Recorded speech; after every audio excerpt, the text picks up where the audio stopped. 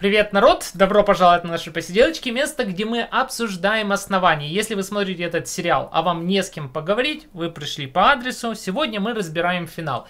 Будем надеяться, что сериал не закрыли, будем надеяться, что второй сезон мы таки увидим, и все-все-все приключения, все те ключики, которые побросали, все те темы новые, которые подняли, все, что еще нужно и хочется узнать, надеюсь, мы еще узнаем. Итак, погнали.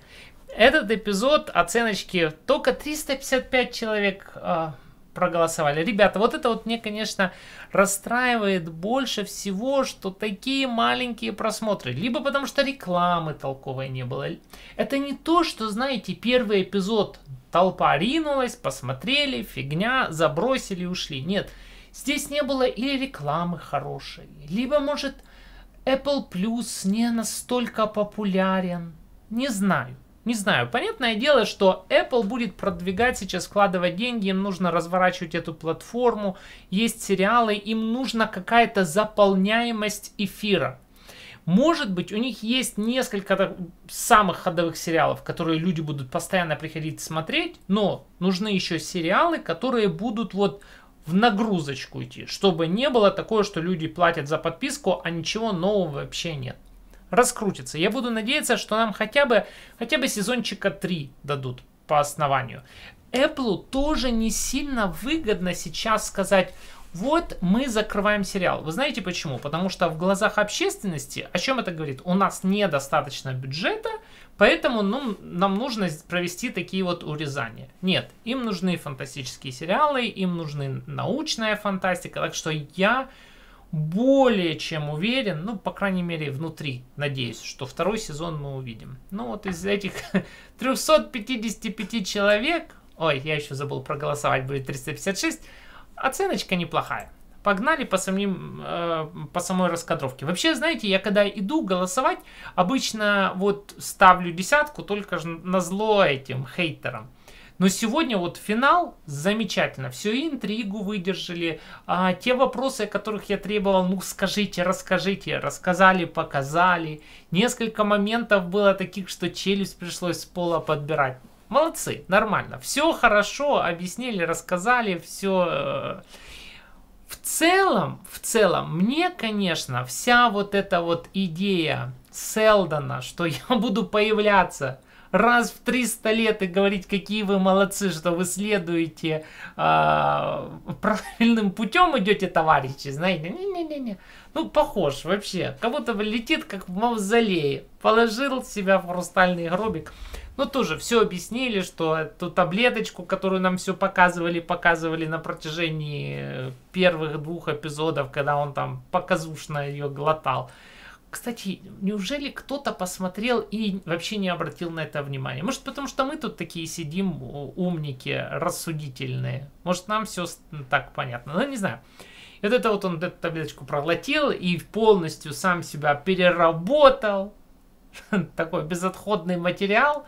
Пролетая, собрал из космоса разный космический мусор и собрал себя вот в целый контейнер хранилища основания и пролетел раньше, чем весь звездолет летел. Этот гробик успел первый долететь и приземлиться. Ну ладно, хорошо. Ой, ну мне вообще вся вот эта идея, то, что Селдон будет появляться периодически и говорить, что все вы сделали правильно, ну, такая, так, такой себе. Это, помните, игра была Алды? Здесь привет. А, ну, погоди, помните, игра была, где а, волк а, ловил корзинкой яйца и ходила легенда, что если ты соберешь, дойдешь до 999 яиц, я, кстати, доходил, то ты увидишь никому неизвестный, невидимый раньше мультик, ну погоди, неизвестная серия записана и хранилась на этих устройствах. И все пытались же разблокировать. И кто-то, знаете, говорил, да, я видел, я посмотрел этот уже мультик, но я никому не расскажу, потому что вы сами должны пройти и все. И я помню в детстве это была самая такая главная манечка мать 999 есть, чтобы увидеть этот мультик. И что теперь? Точно так же будут. Вот нам теперь главное разблокировать следующую видюшку, голограммическое послание от Селдона, где он придет и скажет, что правильным путем идете, товарищ. Вот это вот сам концепт вот этой истории мне... Не, так какая разница? Припрется какой-то дед и скажет, что я все делаю правильно. И это ради этого я должен страдать это. Так что мне вот основная задумка и философия вот тут мне нравится. Да, мне нравится сам подход, то, что вот нам рассказали, что теперь объединяться, и что он рассказал секрет невиданный, неслыханный прежде, что оказывается Клеон второй увидел, что две нации могут между собой соединиться, это вообще почти как игра престолов какая-то, что а, послал своего мастера над тенями, это тот тоже, который клон, или может в следующих эпизодах нам объяснят лучше, почему, а, или это еще один робот, который совершенно не стареет, мастер над тенями, что он смог соблазнить какую-то там служанку, и она лжесвидетельствовала, но перед смертью рассказала всю правду, и каким-то образом именно Гарри Селдон про эту правду узнал, но хранил эту тайну вот до сегодняшнего дня для того, чтобы рассказать ее всем. И, ну, как бы все, все, все сложили оружие, поняли, что им нужно дру- жить дружно и счастливо. Смотрите, я прекрасно покупаю, и мне это нравится, что вот такая вот идея, что две враждующие нации и, там, и вот это основание объединяются вместе для того, чтобы начинают строить свои космические корабли, придумали, что нужно вывести а, космический корабль за солнце, сделать вспышку, чтобы все там подумали, а, ну там, наверное, произошел какой-то взрыв, и там уже никто уже не живет, ну баба с возу и кобыли легче называется. И империи не надо морочить голову, что там с этим основанием будет, что там какие-то между собой эти фиспицы, анакреонцы сражаются, что туда посылать расследование. Как бы все, все э, сдыхались от них называется. И в это же самое время они могут строить такое хорошее партизанское сопротивление. Мне это очень нравится. Мне вот этот вот сам подход очень нравится. Не нравится то, что должен дед приходить и рассказать, отдав, давать одобрение по этому поводу. Ну, как бы вот он, кот Леопольд, ребята, давайте жить дружно. Все, объединились, показали опять этих подростков. Теперь, Смотрите, мне тут немножечко непонятно, но не надо мне спойлерить, подождем до следующего сезона, поймем. Смотрите, под, видно, что люди продолжают жить и взрослеть в, нормально, в, в нормальные сроки, да.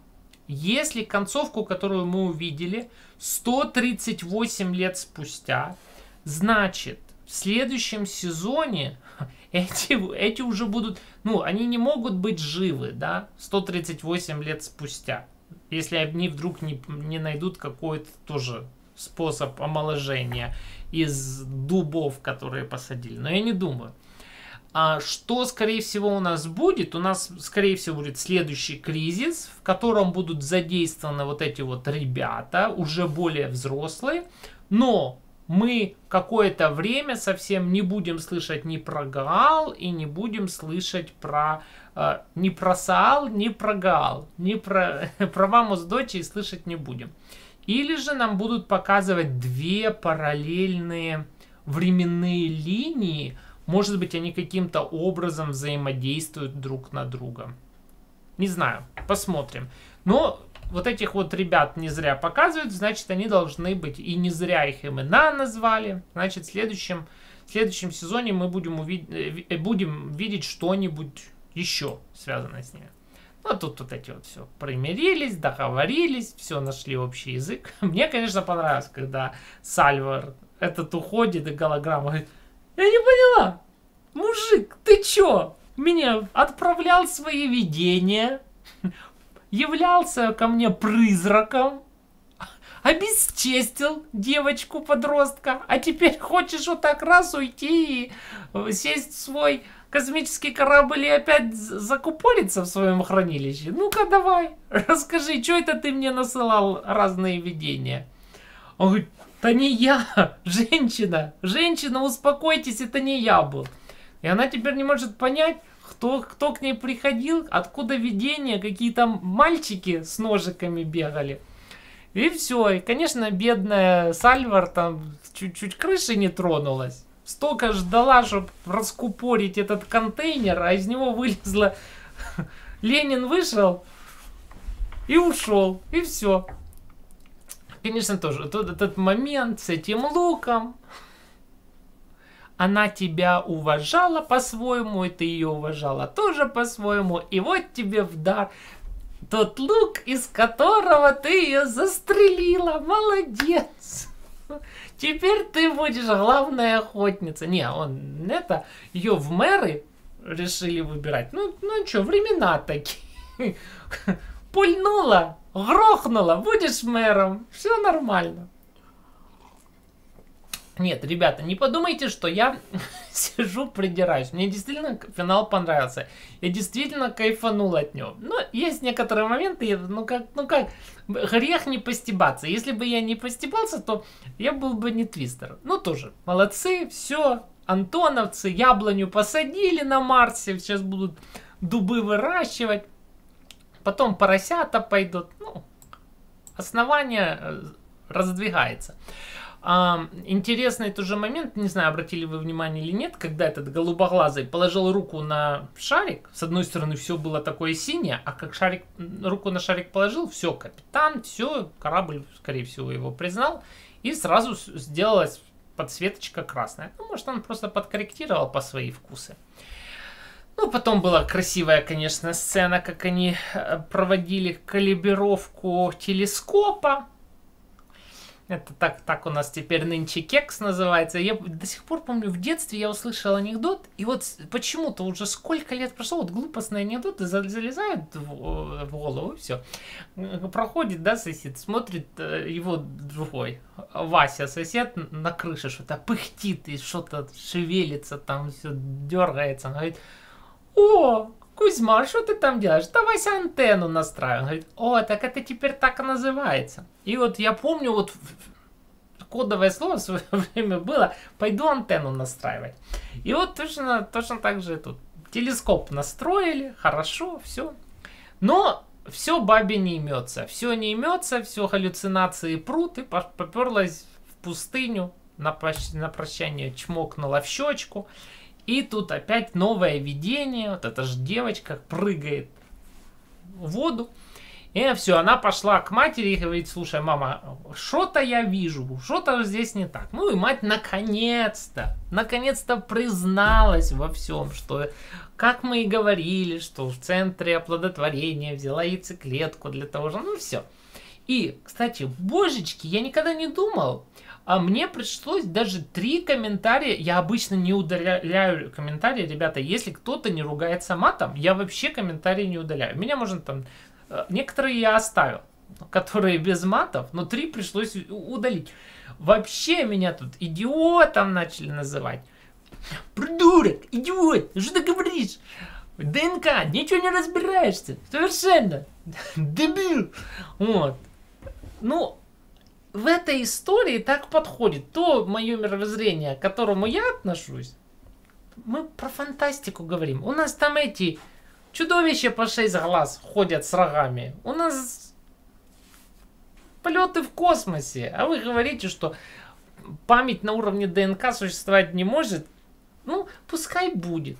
А может какая-то вот она особенная. Вот у нее собственный, вот у них особенный ген, который передается, и в нем и память передается. Поэтому вот она видела воспоминания своего отца, когда он был маленький, биологический, этот Райч, и э, этой Гал. Вот, и все, и маманя во всем призналась, все рассказала. И теперь она спросила, а где, где, в каком районе Гал сбежал? Она сказала, тебе лететь туда 40 лет. И тут у меня вопросик такой. Космический корабль не летел 40 лет. Вот они летели, пускай у них не было там этих суперскоростных двигателей, но они же долетели за, что там, за 4 года. То почему она ей сейчас говорит, чтобы долететь до того района от терминуса, тебе нужно будет лет 40. Или там переводчики что-то намудрили. Не знаю, смотрел на русском языке, может, переводчики намудрили. Ну, короче, она сказала, что тебе лететь 40 лет. Понятное дело, что она будет использовать тоже усыпляющую камеру. Все дела. Ну, конечно, было жалко. Жалко ее любовничка. Она улетает, но не, и не обещала вернуться. Постоял, плакал своими синими глазами. Жалко мужика. Такого мужика бросила, ела пала. Она говорит, ты, э, э, а потом, знаете, такая, говорит, ну, может, ты со мной полетишь? Не люблю вот это. Чуть не сбежала, а потом, ну, ну, может, полетишь со мной? Я знаю дело, что ты хотела лететь сама. Ну и звездуй в космос. Звезда. Ой, ладно, ребята, спасибо огромное моим дорогим, замечательным спонсорам, которые поддерживают. Я знаю, что вы в отличие от Сальвар, никогда меня не бросите и не улетите в космос, оставив меня одного плакать над разбитым корытом. Благодаря и, и вас становится все больше и больше и больше. Как звезд в космосе. Ах, спасибо большое за поддержку. Особенная благодарность, громаднейшая благодарность. Это, естественно, моим хранителям уголка. Потом моим ламповым стражам, это Алене, Риме, Фрау Холли и Алене Кей. Ну и, естественно, нашему мастеру ключа Кирилла. Спасибо большое. Я, кстати, вижу статистику. Сколько, сколько человек я вот повторюсь, вижу статистику, сколько человек, вот они проматывают, проматывают и смотрят, в какой момент кадр меняется со спонсором. А я вот тут вот с кадром скажу спасибо еще раз моим спонсорам, хранителям уголка, твистерятам, ламповым стражам и хран... э, этому мастеру ключа Кирилла. Вот так вот. Теперь все услышали. Все, поехали в основную историю теперь с клеонами. Но это вот я бы смотрел сериал только ради одних клеонов. И тут тоже, ну все. Брат День вернулся, пам-пам-пам-пам. И вот они встречаются в этом хранилище с клонами. Брат Закат говорит, это все ты виноват, если бы ты не улетел, а заметил бы ты или не заметил. Я, кстати, пересмотрел тот кадр, когда вы мне, знаете, напоминали о том, что когда впервые кто-то сказал, что на самом деле он левша, когда он бокал не той рукой взял, а потом в другую руку перехватил, и брат День это заметил. На самом деле, мне кажется, он замечал об этом и раньше, но он не хотел этому придавать значение. Именно в этом эпизоде, опять-таки, смотрите, мое отношение к брату Дню вот так вот меняется на протяжении всего сериала, и мне так кажется, это положительный знак. Почему? А, когда есть разные эмоции к какому-то персонажу, то он для тебя антигерой, то положительный герой, да, то такой персонаж интересен. И вот в этом эпизоде мне снова, снова было его жалко, и снова появилось вот это сочувствие, его отношение. Он брата Рассвета видел даже не как своего брата, а как своего сына. Говорит, я его нянчил на руках. Вообще, конечно. Когда он пришел к нему, снял наручники, это его беседа, ну тоже такое ощущение, как будто как этот камин какой-то ему делал. Я знал, что я всегда другой, но я не мог сказать, я наблюдал за тобой для того, чтобы сделать все правильно. Ты не представляешь, как это тяжело быть вот так, с другим в этой жизни. Ну, в общем, замечательная, конечно, речевочка, все видно было, что и брат, брата дня это зацепило. И в свое время, мне так кажется, мне так кажется, вот слушая его, ему нужно было сделать выбор. Тот самый выбор, когда нынешний брат Закат, а тогда он был брат День, ему нужно было выбрать между кнутом и пряником, да. И вот он попал вот именно в это положение. И вместо того, чтобы выплеснуть весь свой гнев на брат Рассвет, понимая, насколько он явный, наивный еще, молодой, он это все выплеснул на эту, как ее, Зара, или как ее зовут, эту люб... ботанистку, садовницу. Но, конечно, вот этот, что все люди, с которыми она когда-либо пересекались, которые когда-либо ее знали, как, каким-либо образом родственники там, 1550 человек, всех нашли, всех промаркировали и всех убили. Что никто даже о ней теперь не знает и не помнит, и никто никому никогда ничего не расскажет. Все, нашли абсолютно всех. И не просто вот так вот убить и посмотреть, ха-ха-ха, а для того, чтобы она жила с этим. И жила так, что она ничего чувствовать не будет, ничего слышать больше не будет, ничего видеть не будет, но будет связана, будет, будут ее держать в каком-то какой-то камере, поддерживать жизнь внутривенно, что ничего даже есть не будет, чтобы э, не получать никакой кайф от еды или еще что-нибудь. Ничего с собой не могла сделать, будет прикована и будет жить. Представьте, как это, это, это хуже, чем смерть. Представьте. Но да, классная, конечно, сцена, когда он ее оставил, тут прям все. Исполнил Карл.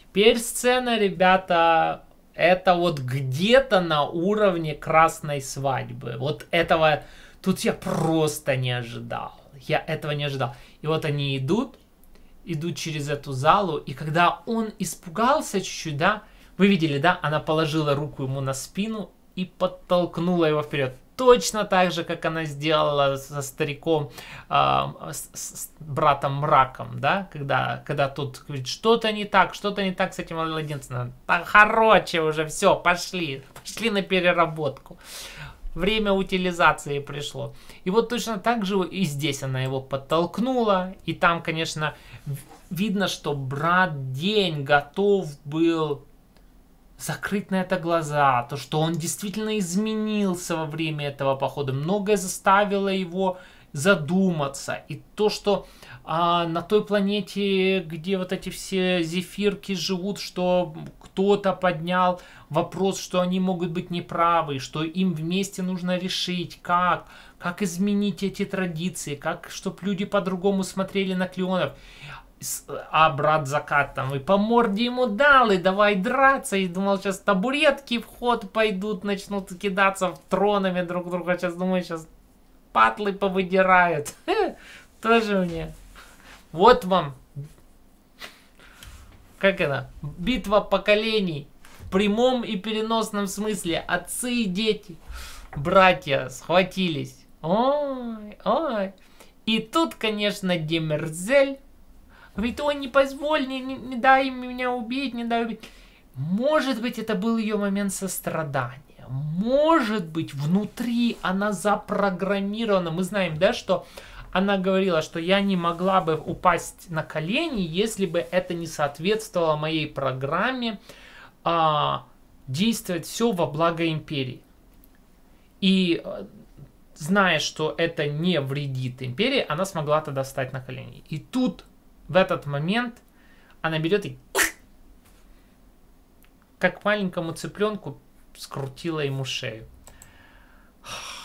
Сильная сцена. Оба брата, конечно, прифигели от этого. И, и мы видим у нее у самой на лице страх и ужас, и она говорит, что я делаю все во благо империи и во благо э, вот этой линии Клеона.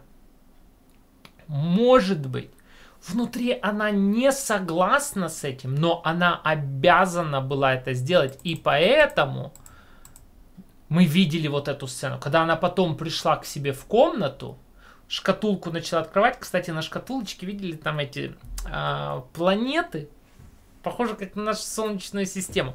И вот она на эту шкатулку открывает, чтобы там почистить себя это, и вместо того порвала себе лицо в клочья. Вообще, вообще самые, наверное, две крутые сцены, са вот самые большие, обалденные такие, что усраться можно. Вот именно с Демерзель были. Ну, третья мы сейчас о ней поговорим. Встреча на этом, на Синоксе. Но вот эти две сцены с Демерзель вообще красота. Но видно, что и брата дня, и брата заката это зацепило, потому что брат Закат подошел к этой картине, которую он рисовал, забросил в нее э, свои краски, акварели, и все эти картиночки начали смешиваться, смешиваться. Как бы такой прообраз, что все уже ничего не будет прежним, уже все там пошло вот это смешание, все вот это вот а, ровная, все вычисленная, выверенная красота, она уже все, она начинает заворачиваться в хаос, который лестница, наверное, сказал бы мизинец. Ну, конечно, тяжелая сцена в том плане, что жалко брата дня, вот он пришел, он несет его на руках, вот как ребенка несет. Вот как вот он его нянчил в детстве, помните, когда он его принес, положил в эту кроватку, вот он, он несет его на руках. Это вот мне, конечно, было страшно, думаю, сейчас не ту кнопку нажмет, распылит из себя кедрени бабушки. Но появляется мастер над тенями, и говорит, что на самом деле в самого главного клона уже внесли вот эти все изменения, и поэтому уже нормальных клонов не осталось. Все уже будут с отклонением, уже ни, никакой клон не остался вот идентичный оригиналу, уже все уже с какой-нибудь червоточинкой. И мы узнаем, что брат День тоже уже не является оригинальной копией. А по поводу брата заката его проверяют. Еще непонятно. Такой он, не такой. Все узнают. Но, конечно, интересно с этим, с этим мастером над тенями. Мне хочется узнать, кто он. Робот? Робот или человек? Как это Алла Пугачева пела. И я не понимаю, для тебя скрываю. На самом деле... А ты такой холодный, как айсберг в океане.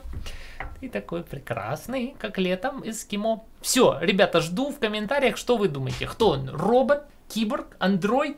Или же просто еще один какой-то клон?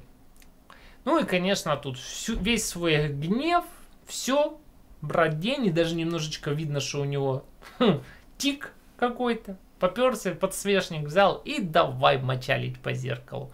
Ну, по стеклу. Все. Бед, бед, бедную мумию сейчас растарабашит. Кедрени бабушки. Ну и, конечно, красивая сцена с, Диме, сценка с Демерзель. Посмотрим, что я, я знаю, что там уже народ бросает мне некоторые ключики. Не надо, давайте без спойлеров, пожалуйста, что говорят о Димерзель, о Димерзель, ты еще увидишь, что, на что она способна. Ну, подождем. Мне кажется, что мы увидим, что она либо сможет себя вот каким-то образом перепрограммировать, либо выйдет, либо может она начнет свою собственную армию роботов создавать. Ну, эти же начинают создавать свои собственные космические корабли. Там основания. Они поговорили и узнали, что самый, там, через 14 месяцев будет уже следующий корабль смогут строить. Все, теперь видим 138 лет спустя входит в орбиту Синакса. Галя долетела, наша Галя долетела. Галя, я не вкупаю. Что оно такое? Все, прилетела. Там эти дельфины наполовину дельфины, наполовину скаты плавают. Ну, знаете, мне понравилась вот такая вот моторная лодка в, ком в компактном этом. Раз, достал сухой пакет, потряс, бросил, раз, уже лодка собралась. Ха, я знаю столько мужиков, которые ради такого изобретения жену в Галат бы продали. Ой, ну круто, раз, два, собрала, весло взяла и Ой, ну тоже странные какие-то животные повыплывали. Ну, понятное дело, что она должна была от них отвлечься, но не хотели любви, видать. А может, это какие-то долгоживущие селедки приплыли, смотрят, о, Галя приехала, привет, с возвращением. Она, валите отсюда, уплывайте, уплывайте. Смотрит, а под водой маяк блимкает пошла, не испугалась, нырнула, думаю, ну как бы не помню. Крыша храма моя, а ничего остального, ну понятно, ребята, да, всю деревню затопила. Она по карте нашла, где там э, родные, близкие жили. Неужели она думала, что 138 лет летела, она что думала, папу с мамой там еще встретить? Но видно, что изобретения ее не помогли, всю планету затопило. Одни только вот дельфины, дельфиноскаты и остались. Прыгнула, нашла этот. Помните, мы думали, что она там за, за скафандр нашла. Теперь узнали. Все, нашла свою дочь. И э, у костра ее согрела, дочь сказала, о, ты моя мама, у тебя родинка тут, у меня родинка здесь, мы вместе можем видеть будущее, теперь мы будем танцевать, как в индийском фильме, и я тебе привезла твою эту клизму, призму, которую ты потеряла. На, держи. Ну и, конечно, Галя там немножко прифигела, что у нее дочь такая почти в два раза старше, чем она. Но законы, на, э, законы фантастики и путешествия во времени учат нас ничему не удивляться. Конечно, тут очень интересно, как это они решили развести костер на, на, на крыше дома моего, при этом не боясь, что спалят кедрени фени последние остатки, где они сидят. Ну, конечно, теперь вопрос, как они отсюда выберутся. Понятно, космический корабль Сальвар затонул, и там уже рыбы все растащили на металлолом. У Гали тоже ее батискаф мы видели утонул. Все отсеки подсоединялись, горели и затонула кедрени фени. Не знаю. Ну, может, они сейчас соберутся вместе и как Бэйби Йода начнут передавать в космос сигналы, и кто-нибудь из, еще из их родственников придет и их спасет.